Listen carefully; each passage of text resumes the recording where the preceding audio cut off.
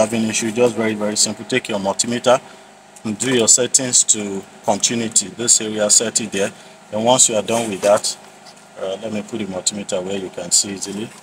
Then take your probe touch each other you must hear that continuity sound. So one thing we'll be checking for is maybe there is any fault wrong with any of these transistor once you see any continuity forget it is gone. But once there is no continuity then we are good to go. So let's check for these 2SA with the first one you can see my multimeter is reading not a short circuit. Doesn't mean it's giving me 0 0 i hear the sound like this. That is short. But now this one is reading reading both direction. The reason why it's giving me reading both direction is you know there are different components around it so that is still good. So uh, this one is good. Let's check the second one.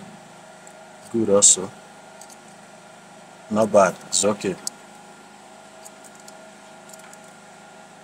okay that one is good too. You can see? It's giving me reading so all these and I see the 2SC the 2SC the two of them they are working perfect. So let's just check in case maybe any of our choke is having issue. That one must give us continuity. So this one is good. This other one is good. This other one is good. This is good. So this my amplification system there is no problem with this side. Okay? That is very very simple like abc see you in the next video